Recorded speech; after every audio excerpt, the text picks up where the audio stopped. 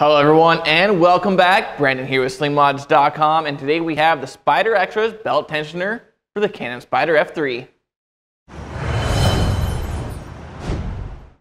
This billet aluminum belt stabilizer reduces belt vibration by applying spring-loaded tension to the drive belt.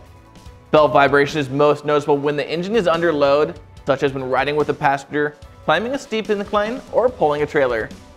Adding the stabilizer prolongs the life of the drive belt and increases the overall lifespan of the drivetrain components. After riding with the F3 belt stabilizer for extended periods of time, you'll notice that it reduces hand fatigue by minimizing vibration from the belt. Now follow me as I walk you through the installation process.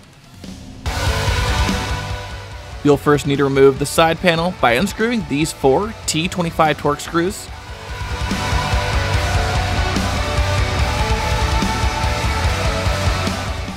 and these three push pins.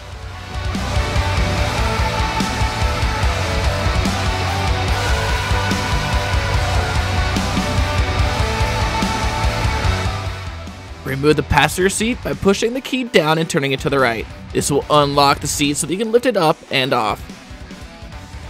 Then using a 10mm socket with extension, unscrew these two bolts to remove the driver's seat.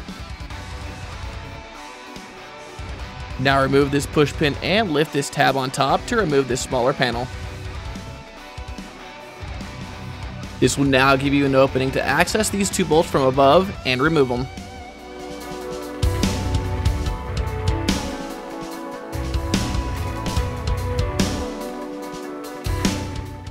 Now you can slide in your belt idler and with a little bit of force, push down to compress the spring and screw those two bolts back in. Now before you tighten both of those down all the way, check to make sure the arm of the idler is evenly spaced parallel with the belt and that the roller is centered on top of the belt.